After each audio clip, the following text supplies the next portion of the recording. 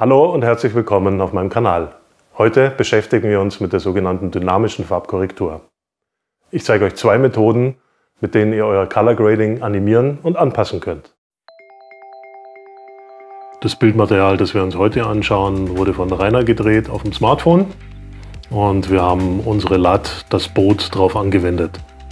Das Original sieht so aus. Das ist unser Look. Das gefällt uns schon mal sehr gut. Wir möchten jetzt aber selektiv ab dem Moment, wo der gute Anthony die Fackel hebt, unser Bild ein bisschen bearbeiten und wir möchten viel mehr in die warme und in eine rötliche Richtung gehen. Das wollen wir jetzt auch bewusst übertreiben. Wie mache ich das am besten? Ich zeige euch zwei Möglichkeiten. Möglichkeit Nummer eins: Wir gehen in die Edit Page, in die Timeline, suchen den Übergang. Hier ist das erste Frame, wo das Ganze passiert und setzen hier einen Cut.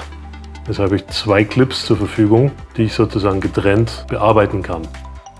Wir wählen den zweiten Clip an, schaffen uns einen neuen Node, in dem wir unsere dynamische Anpassung machen. Wir wollen einfach den Offset ein bisschen hochschrauben in den rötlichen Bereich. So ist es mit, so ist es ohne. Wir gehen wieder zurück auf die Edit Page. Wenn wir uns den Clip jetzt ansehen, haben wir einen Sprung. Also gehen wir her und machen ganz altmodisch eine Blende drauf, einen klassischen Cross Dissolve. Und somit wird unsere Farbbearbeitung schön langsam und harmonisch eingeblendet. Den Cross Dissolve würde ich hier sogar noch ein bisschen kürzen. Es geht nur darum, dass der Clip nicht springt. Und schon haben wir eine schöne Bearbeitung. Ich habe das Ganze jetzt wieder rückgängig gemacht. Wir gehen zurück in die Color Page. Jetzt zeige ich euch, wie man das Ganze in der Color Page machen kann. Auch hier nehmen wir einen neuen Node, nennen den mal um für unsere dynamische Geschichte.